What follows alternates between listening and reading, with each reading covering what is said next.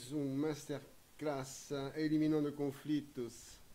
Então, nós, hoje nós vamos justamente abordar uh, a nossa jornada, justamente como ver a possibilidade de eliminar os conflitos interpessoais uh, e atritos nos relacionamentos, iniciando pela sua relação e também depois isso vai se expandir para as dos outros, no caso. Né?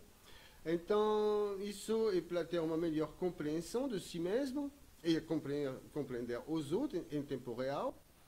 E vamos ver, então, hoje, eh, que mesmo não tendo conhecimento em relações humanas, na realidade, e não sendo um especialista, mas sim uma pessoa normal, como eu era quando comecei nessa, nessa jornada, então vai ser, é possível entender como nós funcionamos, e vamos ver isso hoje, uh, e como funcionam os outros, por que também os outros funcionam como eles funcionam, e então passar a entender onde se encontra justamente esses artritos, o que eu chamo de, de, de ruídos, uh, ruídos do comportamento. Então, eu sou Jean-Charles Vateleta, autor do livro uh, Melhor, enfin, As Leis do Seu Universo Interior, e o tema de hoje justamente é como é possível eliminar os conflitos se eu não tenho conhecimento em comportamento humano. Então, na realidade, isso há uns 25 anos atrás, quando eu iniciei, se tivesse me falado que seria possível, eu não acreditaria. Eu pensaria, não, isso é besteira, não é possível. Mas, na realidade, é possível sim, é essa que justamente a coisa muito boa. Uh, eu, isso aconteceu porque eu cheguei a, a, entender que eu tinha um problema, comecei a fazer minha, uma, uma, uma pesquisa muito grande, até chegar um dia a fazer um curso no Sebrae que se chamava MBTI. Com a Marina Fenning, eu tive a oportunidade de conhecer a, ide a idealizador do Empretec. E então ela passou para a gente esse curso, MBTI. Só que para mim uma coisa era interessante, que ah, para poder puxar meu perfil do 16, dos 16 perfis que tem dentro do MBTI, ah, eu tinha de responder a um 80, 90 perguntas fastidiosas e, portanto, o assunto era muito interessante, os resultados obtidos eram muito interessantes, mas não era possível ser utilizado no dia a dia. Você não, não tinha como olhar uma pessoa e você vai fazer 80 perguntas para ela, para puxar o perfil dela e passar a entender como que ela funciona. É interessante que na saída desse curso, na, eu estava justamente tomando um cafezinho, pensando assim, mas eu sou fotógrafo, na época era fotógrafo de casamento, eu sou fotógrafo. E um fotógrafo, na verdade, a fotografia, ela consegue muito facilmente passar emoção, sensação em um único clique, em um único instante. Ela me prometiu que eu ia pesquisar, que ia ver, porque eu acreditei que talvez seria possível identificar perfis comportamentais a partir de uma única ação, de um instante. Só a partir um instante você já sabe e vai obter então quais são as características, as, as tendências que a pessoa vai ter. Então, justamente que nós vamos ver hoje, o, o, porque na realidade aquilo não é para dar um curso de comportamento humano, assim, que seria agregando para os conhecimentos das pessoas, dos especialistas, de jeito nenhum, é mais para as pessoas que estão querendo melhorar. Né? E para melhorar, então, uh, conhecer-te a si mesmo, né? como falava muito bem Socrata, nós precisamos já começar para entender como nós funcionamos, depois entender o outro, entender que o problema ele não é somente do outro, mas também é o meu, o problema também é meu, hein? eu sou responsável do que está acontecendo dentro do meu universo. Então, a partir daí, o interessante é que, para compreender como, o que eu chamo de algoritmo, justamente o que, que gerencia o que nós fazemos todos os dias, já que todos os dias as pessoas, a 99% do tempo, age de maneira inconsciente, sempre repetindo os mesmos padrões, e então cheguei a um resultado que para mim é muito claro, que seria então um algoritmo, que cada pessoa tem o seu algoritmo, e vamos ver hoje como que esse algoritmo se constrói, porque na realidade ele não aparece assim do nada. Ah, tem uma parte sim que aparece do nada, que seria aparentemente a parte justamente da, da tipologia, das nossas habilidades, mas o restante não, o restante é tudo uma consequência de com quem se relacionamos, com quem se comunicamos. Enfim, vamos ver isso justamente agora. E essa é a oportunidade. ver que, a partir de simplesmente a tomada de consciência do que acontece conosco, isso iniciando desde a da gestação. Porque, na realidade, assim, quando. Agora que justamente vamos ver que quando nascemos, o que, que acontece? A gente nasce já com as nossas habilidades pré-estabelecidas. Mais tarde a gente vê, então, qual, qual, seria provavelmente a razão, se a gente faz a analogia com a física, então qual, o que, que poderia fazer que essa parte das nossas habilidades já chegue já pronta, assim, pronta. Cada, vai ter, cada pessoa vai ter uma, um tipo de, de habilidade específica, existem quatro, mas enfim, vamos nascer com elas já. Então, isso vai determinar o que nós fazemos de melhor, hein? se nós somos bons, se nós temos muita ideia, se muita criatividade, ou se nós somos de empreender com muita facilidade, ou se, se nós somos pessoas de informação, ou então pessoas muito boas dentro dos relacionamentos. Então, essa, aquilo justamente vai determinar, então, o interessante também, que aquilo vai determinar também nosso corpo, a forma do nosso corpo. Então, a partir do momento que nós sabemos, por exemplo, que um líder, ele tem um queixo muito triangular, bem marcado, e um corpo, um corpo atlético, então quando vocês vão olhar uma pessoa de longe, com um corpo atlético, ele vai ter uma tendência muito forte de ser um líder. E você, engraçado que você pode reparar essas pessoas com muita facilidade em todas as capas de revistas, onde se vai falar de boa forma, uh, o monstro manequins, que sejam homens ou mulheres. Vocês podem prestar atenção, vocês podem olhar essas imagens e vocês vão ver que quase todos eles têm o queixo muito bem marcado, queixo triangular e um corpo atlético. Então, é isso que é interessante, que a partir de uma simples informação, já nós, tem, nós sabemos quem é a pessoa e qual vai ser a tendência de que ela vai fazer, o que, que nós podemos esperar, ah, quais são suas características positivas, positivas ou negativas. Esse, esse é, é, é fantástico, porque as pessoas passam a ser um livro aberto. Mas uma coisa também que é interessante é que quando nós nascemos, durante, antes de nascer, durante a gestação, o bebê, o feto, ele só tem uma possibilidade, que é de se relacionar com a mãe dele. E, nós sabemos que então tem o cordão umbilical, onde uh, nós sabemos que vai ser para alimentar ele, para ele receber exatamente o que ele precisa de, de, de nutrientes para poder se desenvolver, mas não deixe que nós somos mente e corpo. Então, a alimentação é para o corpo e a nossa mente, nosso cérebro, enquanto ele está se desenvolvendo, o cérebro, por si próprio, ele, é um, ele emite e recebe ondas.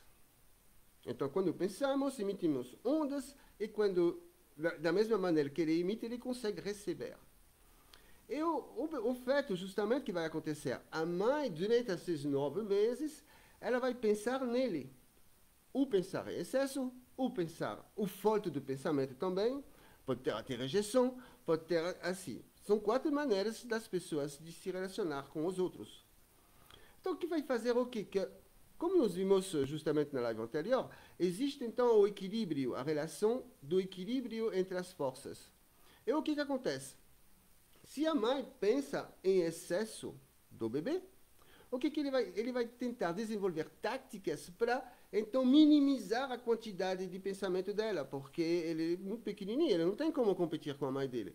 Mas então ele recebe ondas em, em excesso e ele precisa equilibrar. Então vamos imaginar que, vamos pegar uma tabela de 0 a 10 e o equilíbrio seria 5. Então, se ele recebe 7,5 todo dia, ele vai fazer ações negativas a 2,5. Que vai ser, então, nesse caso, se são excesso de pensamento, ele, ele não vai se mexer para não, não atrair atenção ele vai ficar quietinho, o mais possível. Até, até ele pode chegar a não se desenvolver. Agora, eu não sei porque entraria na parte de medicina, que não tem nada a ver com isso, mas eu imagino assim uma consequência que poderia ser justamente o corpo não se desenvolver tanto. Enfim, porque ele está restringindo assim, eu não quero atrair atenção, não quero. Ao contrário, se a mãe dele começa a pensar, a, pensa de menos nele, aí ele vai ter que fazer alguma coisa para para a mãe comece a prestar atenção, ele vai chutar, Alors, justamente, esse negócio, olha meu bebê, olha como que ele chuta. Mas quando ele chuta, quando ele se mexe, no fundo, no fundo, é para atrair a atenção da mãe dele.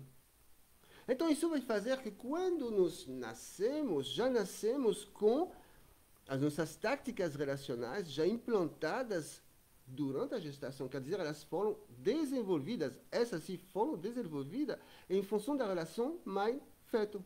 E já vai nascer então com as táticas relacionais pré-estabelecidas. Que ele vai reutilizar de qualquer forma, porque a mãe não vai mudar, hein? não é porque ele nasceu, a mãe continua pensando de mais ou de menos, enfim, isso nós vemos depois como são, são, como são as características de cada uma dessas táticas, mas não deixe de que aquilo vai continuar. Ele não vai parar de se relacionar com a mãe dele. Isso pegamos, evidentemente, um exemplo da assim, de uma família, o bebê nasce, ele está com pai e mãe. Né? Porque pode acontecer inúmeras outras coisas também durante a, a nossa vida, evidentemente, mas pegamos o caso clássico também até, o, até que ele, o momento que ele vai começar a, a, a, a, se comunicar, ele vai ter de se relacionar com o pai dele. Alors, como nós vimos a, na live anterior, o equilíbrio, justamente, o equilíbrio das forças, hein, F1 mais F2 igual a zero, essa relação de equilíbrio, ou como também Newton nos falou, que todas as forças funcionam em pares, e para estar em equilíbrio, elas estão opostas, porém, na mesma, com a mesma intensidade, porém, de sentido oposto, que vai fazer o quê? Que a mãe, para equilibrar, para justamente encontrar um equilíbrio, ela vai encontrar um marido que vai ter táticas relacionais opostas dela. Mas como ela se relacionou com o bebê dela que nasceu, ele, ele também vai ter uma tática relacional oposta a ela. E muito provavelmente, tanto o marido como o filho vão ter a mesma tática. Que vai fazer que o bebê, até falar, ele vai ter de desenvolver táticas opostas do pai para poder atrair a atenção dele. Já que o objetivo é atrair a atenção. Então, para atrair a atenção dele, ele vai também ter de desenvolver essas táticas relacionais e lá o interessante é que aquilo vai nos influenciar em cima de como nos relacionamos conosco. Porque a primeira parte é a relação com o outro, a relação externa. Eu me relaciono com a minha mãe. Minha mãe está do lado externo. Mas para desenvolver as táticas com o pai, eu preciso pensar a respeito. E automaticamente aquilo vai fazer que vai ser a nossa maneira de se relacionar com si próprio. Como, por exemplo, eu sou um distante, uma pessoa que não gosta de falar, assim, que ah, não gosta de falar, não é verdade não, mas assim, ah, que é quieta, que não liga, não responde, enfim, essa é a parte do distante, justamente, que as pessoas quietas, reservadas, poucos amigos, etc. Mas meus pensamentos não são de intimidação. Justamente, lá chegaria as variantes, porque minha mãe era um interrogador agressivo que se juntou com meu pai, um passivo e uma vítima. Ah, isso nós vemos depois hein, como funciona, como se relaciona, porque pode embrulhar um pouquinho, mas seria essa. Eu, minha relação com o mundo exterior é totalmente diferente que a relação que eu tenho com meus pensamentos. Esse nós vemos muito bem no, no desenho animado Charlie Brown. Ou você vê Charlie Brown que está lá assim pensando, não, eu vou lá, eu vou, vou, vou, vou, vou bater na porta da casa dela, quando ela vai abrir, eu vou dar, vou falar uma coisa linda, e vamos namorar, e nós dois vamos passar o restante da nossa vida. E você vê ele ir até a casa, e quando chega para apertar o botão da campainha, ele não aperta. Porque o mundo interior dele, eu posso, eu quero, eu faço mas no mundo exterior dele eu não faço. Então, isso, lá justamente, isso é muito fácil de se reparar nas pessoas. Então, quando você vai reparar qual é a tática de uma pessoa, você já vai ter a tática da mãe, a tática do pai. Uma tendência, evidentemente, mas como seria a tática da mãe, a tática do pai, a tática da mulher ou da, da namorada, dos filhos. Enfim, é uma coisa que é automático, a busca do equilíbrio. Aí em seguida nós temos o quê? Nós passamos a, a, a, a querer, a querer falar. Mas para falar, automaticamente a gente precisa ser atraído por alguém. A tendência seria que, busca do equilíbrio, os homens são atraídos pelas mães e as mulheres, as meninas, são atraídas pelos pais. Ah, mas como funciona É, quando falamos, são ondas, ondas sonoras que, que estão funcionando, que estão indo de uma pessoa para outra. Então, lá nós vamos, justamente essa história que nós fazemos parte do universo e utilizamos exatamente as mesmas leis do universo, nós veremos que, na realidade, o universo existe dois ramos, o ramo óptico e o ramo acústico. E que cada um desses ramos tem janelas. Ah, então, o interessante é esse, que em função da janela que, por exemplo, o pai vai utilizar, hein, vamos imaginar a, a, a, sinestesia, que vai ser um tom mais grave, hein, que vai ter hábitos diferentes dos auditivos ou visuais. Enfim, a criança ela vai se sintonizar nessa frequência. E isso vai criar o quê? Os seus gostos pessoais. Então, a partir do momento que você descubra qual é o gosto da pessoa, você passa a saber então o canal de comunicação dele. E automaticamente, a tendência seria também o canal de comunicação do, do pai ou da mãe. E assim para frente. É mecânico, na realidade, aquilo. Eu sou mecânico. Para mim, eu, olhei aquilo como se fosse assim, tudo é tabelado, e tudo é uma repetição dos mesmos padrões. Então é mecânico. Ação, reação, ação, reação. Sempre a mesma coisa. Mas, então, já nos vimos que a gente já, já nasce com nossas habilidades, depois nós nascemos também com nossas táticas relacionais, que elas se desenvolvem ainda mais quando nos relacionamos com outro pai, que depois nós vimos também que, uh, como nos acontece para falar, e nós vemos que tudo aquilo é totalmente inconsciente, a gente não tem controle nenhum do que está acontecendo. E então vai chegar o momento, também temos de pensar a voltar na parte da hora do nosso nascimento. É se a gente comparasse o nosso nascimento com o Big Bang. Porque se nós olhamos bem, o que, que aconteceu no universo? Não tinha nada, de repente uma enorme explosão, e tudo o que acontecer depois daquela explosão, automaticamente era uma reação. E cada ação que está acontecendo no universo não passa de ser uma reação da ação anterior. E para a gente é a mesma coisa. Na hora que nós nascemos, nós entramos num universo invisível, né? estávamos dentro da barriga da nossa mãe, para entrar no mundo visível. Então, todas as ações, a partir daquele momento que, que vão acontecer, vão ser reação do que? Do meio onde a gente vivia, do universo da onde a gente acabávamos de chegar, e também do local onde nós nascemos, porque uma pessoa que nasce no nordeste do Brasil não é igual a uma pessoa que nasce no sul do Brasil, ainda muito menos se a gente pega assim, que nasce nos Estados Unidos, do Canadá, ou, a cada vez são pessoas diferentes.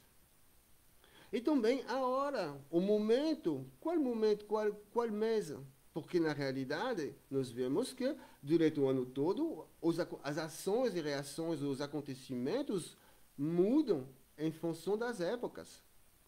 Isso vai influenciar a gente também, porque nós fazemos parte do universo, somos influenciados por ele. Então, isso vai nos influenciar no quê? Dentro das nossas ações. Como nós vamos agir. Porque assim, nós temos as nossas habilidades, nós sabemos se relacionar, se comunicar, e com aquilo, nós precisamos então passar a agir. E esse é bastante interessante, na realidade, assim, é, é, é um assunto uh, fabuloso, mas o, o, o, que, o interessante é essa, é a tomada de consciência. Se vocês olharem bem, o algoritmo, ele, bom, ele se cria sozinho. A gente não tem controle dele, é o que nós não controlamos, nós controlamos. Mas nós podemos reparar que é muito fácil entender, poxa, mas qual é a, a origem das minhas habilidades, do fato que por exemplo, vamos pegar, vou pegar o meu caso, né, de ser um líder, um criativo, uh, uh, com os defeitos que aquilo também vem junto, porque um pacote hein, vem qualidades e defeitos, o equilíbrio não deixa de ser. Poxa, mas isso é tão, é tão simples. A coisa é tão simples. Aí também, dentro dessas habilidades, ainda temos a, a organização do tempo, a, se nós somos flexíveis ou se nós somos planejados, e também nas to nossas tomadas de decisões né, se nós somos lógicos ou sentimental, mas isso é fácil de entender. E essa é a tomada de consciência. As três, as três fases da, tomada, da, da, da consciência, que é eu não sei que eu não sei, ah, beleza. Depois eu não sei que eu, eu, eu sei que eu não sei. E lá nós estamos assim, agora sabemos que não sabe o porquê e como é, mas nós vemos que é muito fácil, é muito simples de pegar esse raciocínio. Também o que estou passando é uma, é uma, uma teoria que eu desenvolvi, na realidade, hein, a partir de, justamente dessa junção de por que nós não estaríamos repetindo, na realidade, leis universais. E tanto dentro das nossas ações, que dos nossos pensamentos, das nossas reações, porque até, por exemplo, a, a, a, a postura que o corpo tem quando sofremos, então baixamos a cabeça, e, e, e sempre é mecânico. Ah, nós somos felizes, então sorrimos é mecânico. É uma coisa assim, até o sentimento, eu me sinto mal, então eu vou chorar. A resposta é chorar, mas assim, é mecânico, não passa disso. Então é essa que eu queria passar hoje, que na realidade, assim, uma vez que nós temos consciência de como se constrói esse tal de algoritmo, e passamos então a entender o porquê nós repetimos as mesmas coisas, porque cada, o algoritmo não vai ser igual de pessoas a pessoas, mas as características que nós temos, nós podemos reencontrar em outras pessoas. E uma outra vantagem também, se nós passamos a se conhecer, a se estudar, as nossas características que nós passamos a conhecer, nós, e vendo outras pessoas com essas mesmas características, então nós vamos saber como que essas pessoas são, porque vai ser igual a gente, já que não repetimos os mesmos padrões.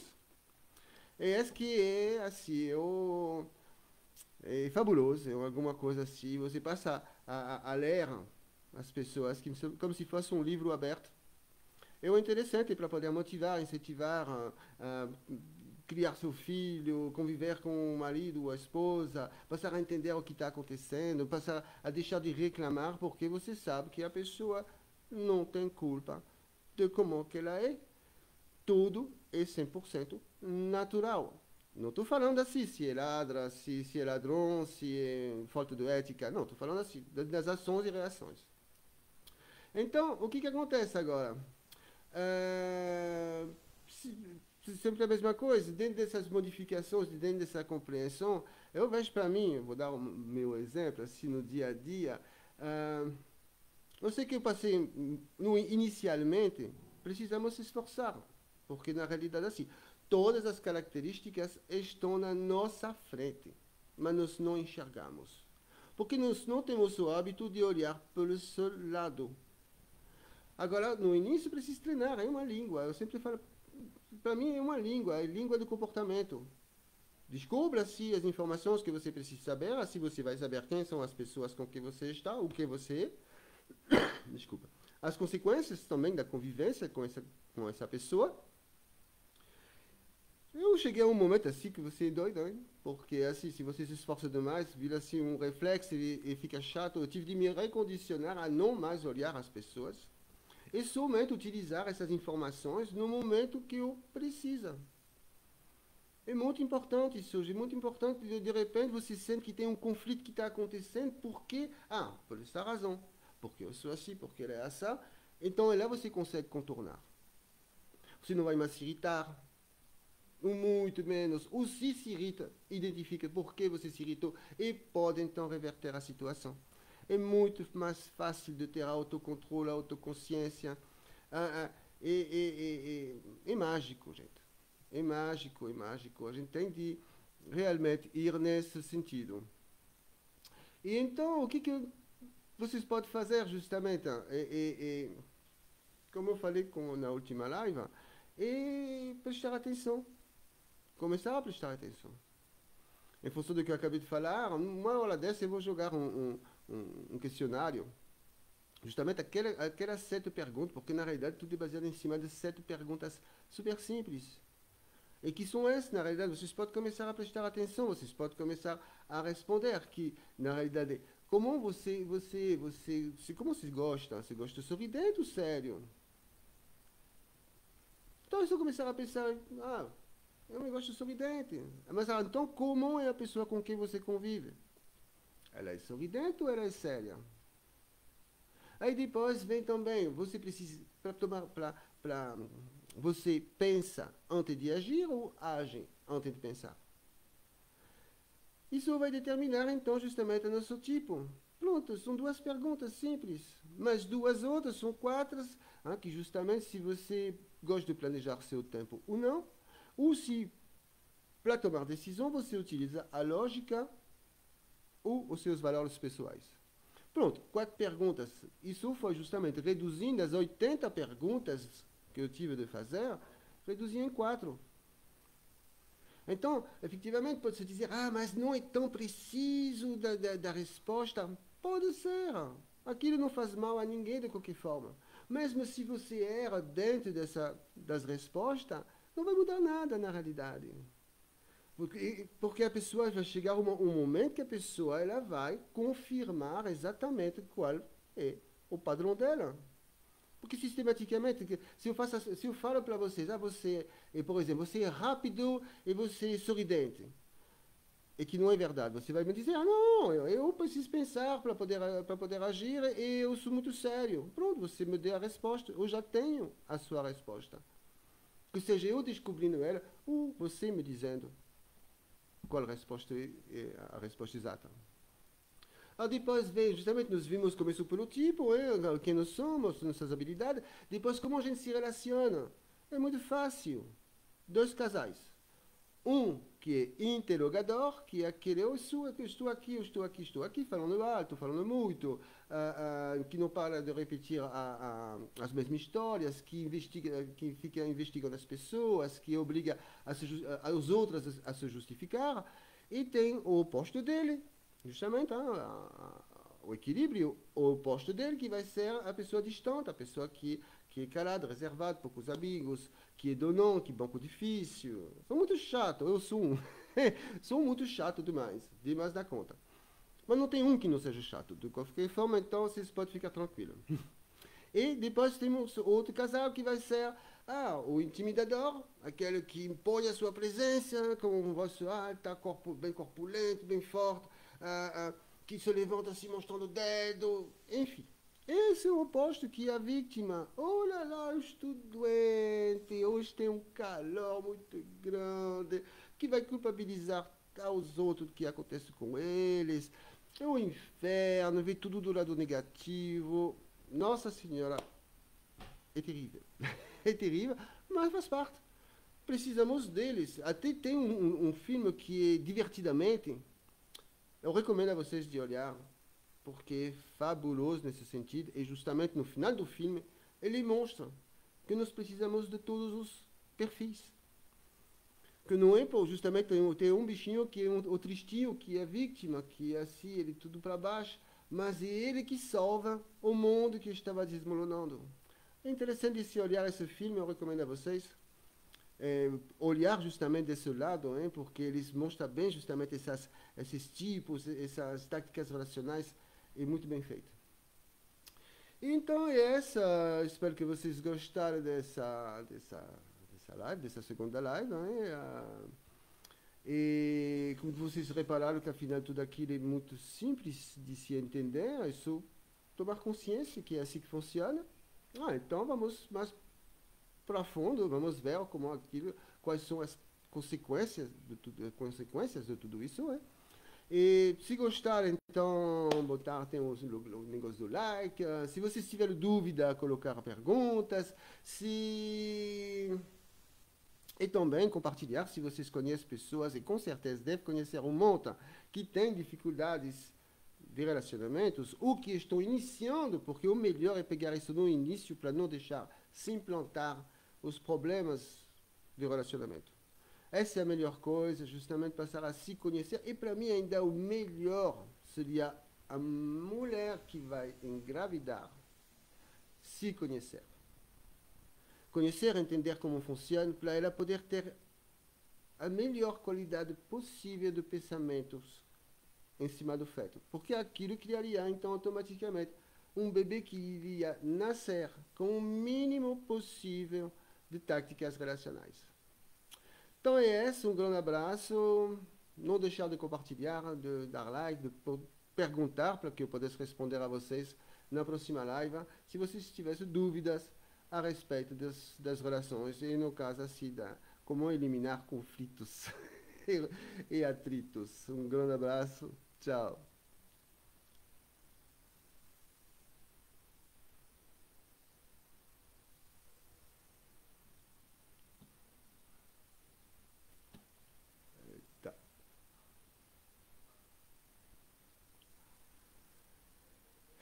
Yes.